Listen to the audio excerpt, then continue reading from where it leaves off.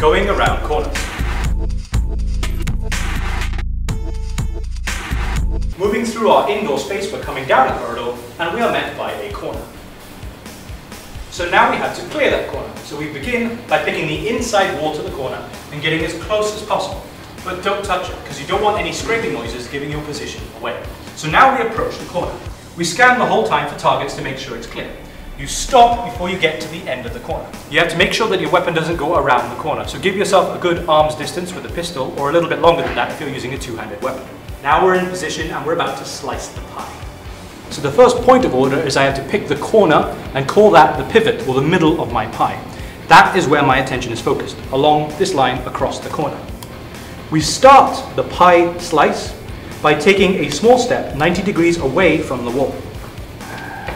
This creates a slice. You need to make yourself as small a target as possible. Now when you're controlling the recoil of the weapon, this is slightly more natural because you have to lean slightly forward, get behind your weapon.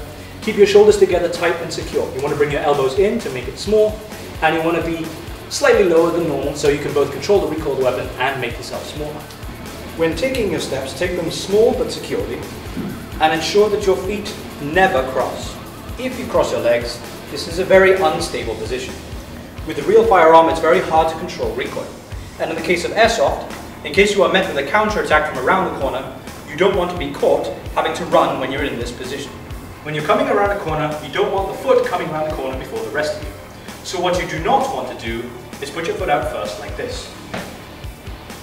What you want to do is draw an invisible line from your foot to your left side.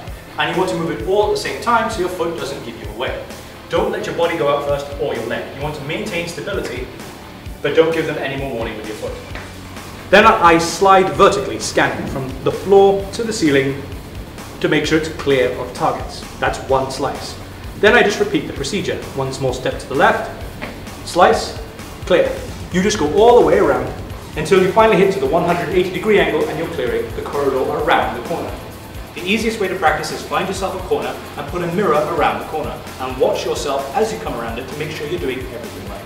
That about wraps up the skill for this video. Be sure to check out the other video parts in case you haven't already.